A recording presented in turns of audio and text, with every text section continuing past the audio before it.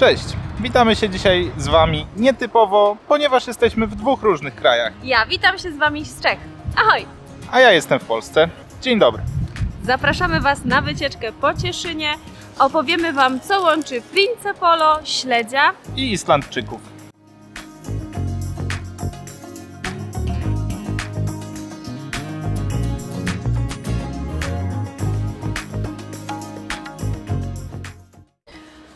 Przyjechaliśmy do Cieszyna i pierwsze co zrobimy to zjemy sobie kanapkę cieszyńską.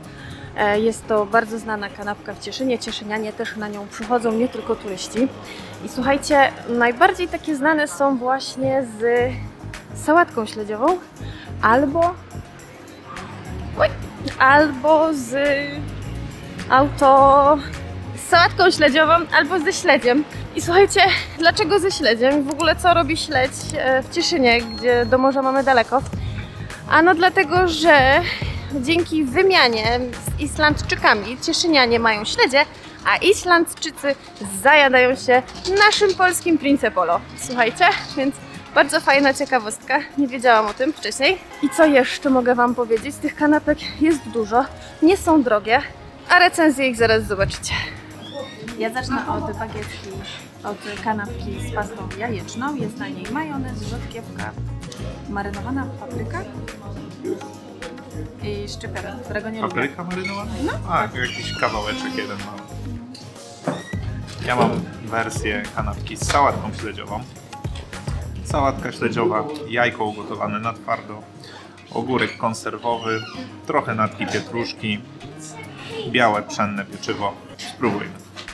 Miękka bułeczka, mm, fajna wilgotna pasta, majonez tłusty, więc tak żeby przegryźć, spróbować Cena bardzo dobra, bo 3,99 3,99 za jedną kanapeczkę. czuć świeże pieczywo. Nie jest suche. Bardzo fajna przekąska. Wszystkie zabytki Cieszyna zlokalizowane są bardzo blisko siebie. Droga z rynku do wzgórza zamkowego zajmie Wam góra 5 minut spokojnym spacerem. Przez bramy Pałacu Myśliwskiego wchodzimy na wzgórze zamkowe, a tam zobaczycie chyba najbardziej znany zabytek Cieszyna. Widzieliście symbol na banknocie? To jest właśnie rotunda świętego Mikołaja. Chyba najbardziej znany, najbardziej popularny zabytek Cieszyna.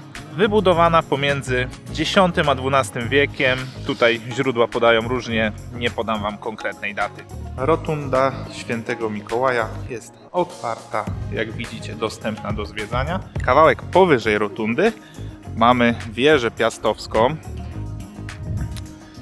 Siedmiokondygnacyjny budynek wzniesiony w XIV wieku, obecnie jedyna pozostała z czterech takich wież otaczających górny zamek w Cieszynie. W trakcie wspinaczki do góry lub podczas zejścia w dół z wieży piastowskiej możemy przeczytać o historii osadnictwa na ziemiach cieszyńskich. E, Jesteśmy przed wieżą piastowską i na wieżę można wejść. Na jej szczycie jest punkt widokowy. Wejście dla dorosłej osoby kosztuje 12 zł. Ja bardzo się cieszę, że przyszliśmy tu poza sezonem, ze względu na to, że jest mało ludzi e, i wchodzenie, jak i schodzenie nie jest tak kłopotliwe. E, Schody są w środku bardzo strome, więc wszyscy wchodzą bądź schodzą bardzo powoli, ostrożnie. Za mną możecie zobaczyć zbudowany w XIX wieku Pałac Myśliwski. Zbudowany został na fundamentach Piastowskiego Dolnego Zamku, obecnie siedziba Państwowej Szkoły Muzycznej w Cieszynie. Znajdujemy się przy jednym z punktów, gdzie stawał tramwaj. W Cieszynie były tramwaje, jeździły przez 10 lat między 1911 a 1921 rokiem. Trasa miała około 1,8 km i było na niej 11 przystanków. Przywitaliśmy się z Wami na Moście Przyjaźni. Jest to most, który łączy polski Cieszyn z czeskim Cieszynem.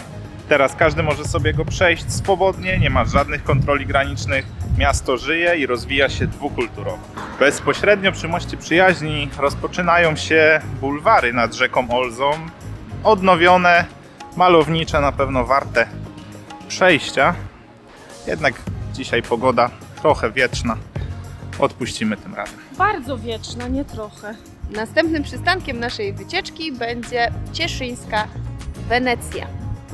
Tak, zlokalizowana nad rzeczką, strumykiem, młynówką. Zobaczcie, jak to wygląda. Wzdłuż uliczki i wzdłuż y, młynówki zlokalizowane są pracownie artystyczne, restauracje, kawiarnie.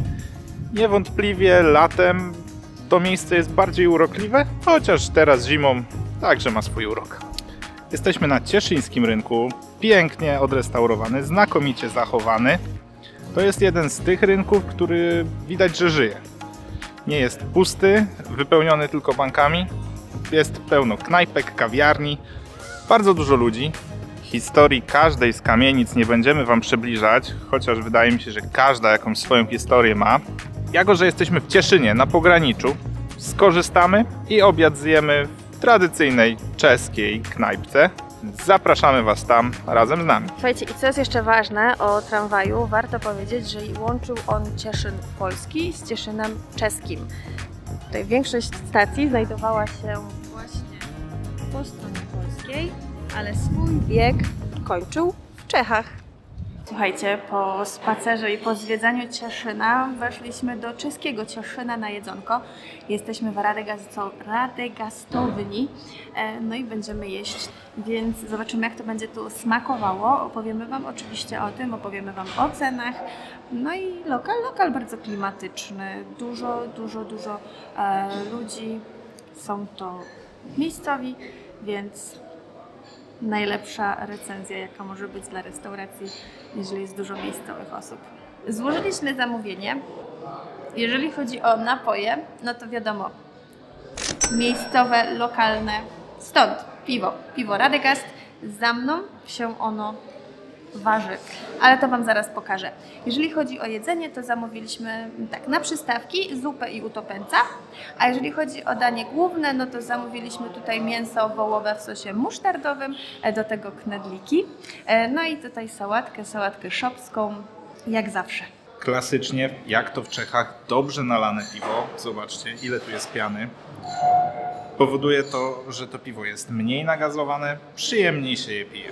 Tutaj akurat zamówiliśmy Radegasta 12, czyli 12% ekstraktu. Dosyć treściwe już piwo. Jak to w Czechach, z solidnie wyczuwalną goryczką. Na pewno y, birgicy powiedzą, że ta goryczka jest żadna. Dla mnie już jest wyczuwalne. W restauracji Radegastownia menu bez problemu otrzymacie też w języku polskim. Z obsługą dogadacie się też bez problemu, więc bariera językowa nie jest żadną przeszkodą. Klasyczna czeska przystawka do piwa. Rodzaj parówki, może serdla, ale takiego bardziej mięsnego, nie, nie najgorsza mielonka, marynowanego w occie z dużą ilością cebuli i z ostrymi, naprawdę ostrymi papryczkami. Dostaliśmy już też e, zupę czosnkową. Widzicie, jak ją otrzymaliśmy? Czyli jest sam bulion czosnkowy, jest mocno czosnkowy, bo już lekko spróbowałam.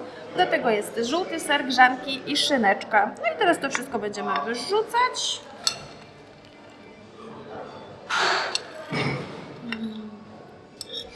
Nie obejdzie się bez bałaganu. Mieszamy, ser się roztapia.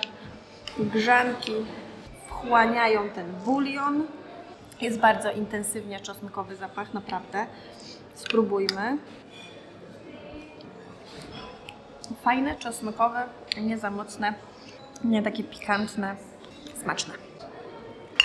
Słuchajcie, ja utopęca uwielbiam. Popatrzcie, nie wiem czy Wam Reny pokazywał, jak on wygląda. Twardy, zbity, fajnie octowy. Są dwa rodzaje papryczek, właśnie zielona, czerwona. I ta zielona jest tak ostra, że przed chwilą ją spróbowałam i aż mi łzy pociekły, naprawdę. Pikantna. Jeżeli chodzi o tą czerwoną, jeszcze nie wiem, nie próbowałam.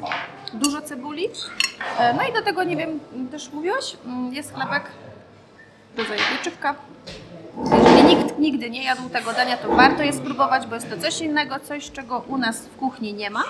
E, Można też sobie zrobić to w domu samemu i to też jest wtedy fajna przystawka na, na jakiejś imprezie. Moja kolejna czosnkową zupę, jak zawsze w Czechach. Mocno czosnkowa, mocno aromatyczny bulion, fajne grzanki. Tutaj nietypowy wszędzie dodatek szynki. Ta szynka tutaj według mnie zbędna, nie jest jakaś super smaczna. Nie dodaje nic od siebie tej zupie, ale całościowo naprawdę warto. No ja uwielbiam. Fajnie, bo on jest tak bez skórki, jest ten serdelek. To jest przepyszne. I ta marynowana cebulka jest tak idealnie octowe, nie jest za octowe, nie jest takie nijakie, więc mm. Ja dokończę zupę i będziemy czekać już na nasze danie główne i sałatkę.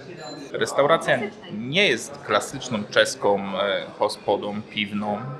Jest urządzona w takim bardziej nowoczesnym stylu, ale mimo wszystko możecie tutaj zjeść wszystkie czeskie klasyki, napić się piwa, typowo po czesku.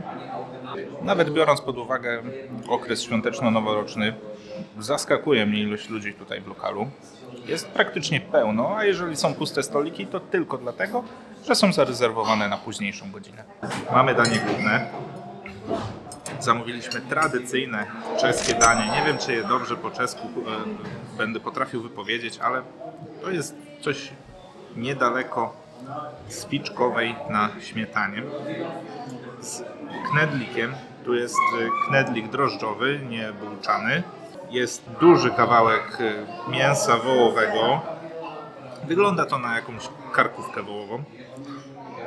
I na górze jest bita śmietana na plastrze cytryny i konfiturze. Już Wam powiem, jaka to jest konfitura. Tak, to jest żurawina. Do tego dużo sosu. W tym sosie muszą się maczać knedliki. Zobaczcie, ile, ile jest tego sosu. To wszystko wręcz jest utopione w tym sosie. Mięso jest miękkie. Mięso jest bardzo miękkie. Wręcz rozpływające się w ustach. Knedlik z sosem.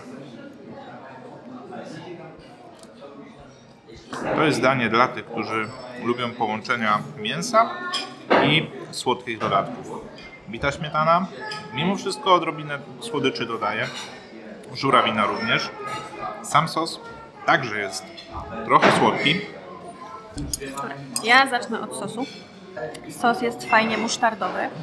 Wydaje mi się, że jest robiony na bulionie, bo czuć lekki posmak właśnie bulionu, takiego rosołu.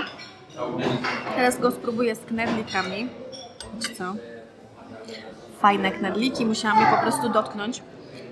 Delikatne, puszyste, nie są twarde. Maczamy w sosie. Ja jestem fanką knedlików, więc dobry knedlik to już w ogóle. No i spróbujmy tego mięsa. Mięso fajnie odchodzi. Mm. To połączenie mięsa, sosu i tej cytryny, z którą chyba to mięso było tak jakby podgrzewane, bo oddaje swój smak. To nie jest zwykły plaster świeżej cytryny rzucony na mięso, tylko to jest właśnie cytryna, która już jest robiona z tym mięsem. Ta cytryna jest miękka, skórka jest taka, no widać, że było to razem przyrządzane. No i dobra, spróbujmy teraz kawałek mięsa z sosem, z bitą śmietaną i z żurawiną. Ja już wiem, że mi to będzie smakować, ja lubię takie smaki. Mm. Fajnie, słodka bita śmietana, lekko kwaśna żurawina, musztardowy sos i to mięsko. Delikatne, rozpływające się w ustach. Miam. To danie jest super. No, zabrakło mi słów. Naprawdę jest bardzo dobre. To trafia po prostu w moje gusta. Zamówiliśmy również nawet nie czeski, po prostu bałkański klasyk, czyli sałatkę szopską, pomidor, papryka, ogórek, cebula i powinien tu być bałkański ser szopski, od którego nazwy ta sałatka wzięła swoją nazwę. Mam dziwne wrażenie, że to jest ser typu feta zamiast y, prawdziwego szopskiego syra. Na pewno ta sałatka smakuje lepiej wiosną, latem, gdy warzywa są świeże. Ja jeszcze tylko dodam, że sałatka szopska ma wielki plus za to, że warzywa są ciepłe. Nie jest to nasza pierwsza szopska sałatka w czeskich restauracjach. Mm, Czasami zdarza się, że podają ją na zimno, wtedy te warzywa to już w ogóle nie smakują, więc tu jest plus za to, że ona jest ciepła i fajnie doprawiona. Wiadomo, w sezonie na pewno jest o wiele smaczniejsza. Należy się Wam małe sprostowanie. W menu y, była adnotacja, że sałatka szopska jest serem feta, więc teoretycznie informacja była zgodna z prawdą. Mimo wszystko ja jestem zdania, że to był ser typu feta, a nie prawdziwa feta. Nie, do, dookoło prawdziwej fety nie stało. Cieszyn Wam bardzo polecamy. Warto też przejść przez granicę i zjeść. Szczególnie, że dobrze możecie zjeść w Radegastowej. Też tak uważasz? Być może cały czeski Cieszyn jest piękny. Mam nadzieję, że tutaj wrócimy. Do polskiego Cieszyna również. Musimy jeszcze do browaru na wycieczkę. No, więc ja jestem y, ukontentowana. Nie no, żartuję, jestem, jestem zadowolona. A teraz ruszamy do domu. Chciałam kupić kufel, ale z racji tego, że mają ich mało, to niestety ich nie sprzedają. Może następnym razem się uda. Ahoj, do domu. Wróciliśmy z Cieszyna. Krótkie podsumowanie nagramy u nas w domu. Jeżeli chodzi o ceny, to już Wam opowiem, jak to wygląda. E, Za piwo zapłaciliśmy 44 korony. Za piwo bezalkoholowe 42 korony. I to jest oczywiście cena za jedną sztukę. E, Jeżeli chodzi o. Poczekajcie, zobaczę. Po kolei. Ok. Jeżeli chodzi o utopęca, to kosztował on 81 koron. Za zupę zapłaciliśmy 72 korony. E, Danie główne kosztowało nas 228 koron, a sałatka 172 korony. Łącznie zapłaciliśmy 683 korony. Czy polecamy restaurację Radegastowna Cieszyńska? Mi wydaje się, że zdecydowanie można ją polecić każdemu, kto chce spróbować kuchni czeskiej, ale też każdemu, kto chce po prostu po zwiedzaniu dobrze zjeść.